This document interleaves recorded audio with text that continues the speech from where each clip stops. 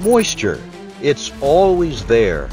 How can you accurately test concrete's true moisture condition? To find out, sign up for Wagner Meter's Moisture Testing of Concrete Floor Slabs one-hour webinar, prepared in partnership with CTL Group and hosted by Howard Kanare a leading expert in issues related to concrete and moisture. Kanare shares the results of his extensive scientific research. In some cases, it's the first time old methods have been put through rigorous scientific testing. It actually sucks moisture out of the concrete that's not really coming out of the concrete.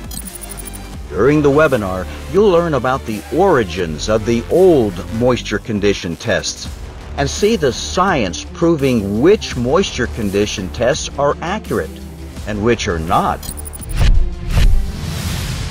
And any test that gives different results depending on the weather, the temperature, um, and the particular day you do the test, I think is fundamentally uh, going to give you um, not very useful information.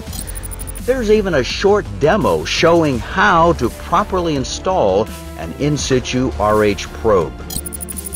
Testing for moisture in your concrete? There is a science to it you can bring to the worksite. The different levels of humidity in the floor under scientifically controlled environment, how floor coverings and adhesives perform, and then relate that to the actual performance out in the field. Sign up today for this free one-hour webinar and understand the science behind the only reliable test of your concrete floor's moisture condition.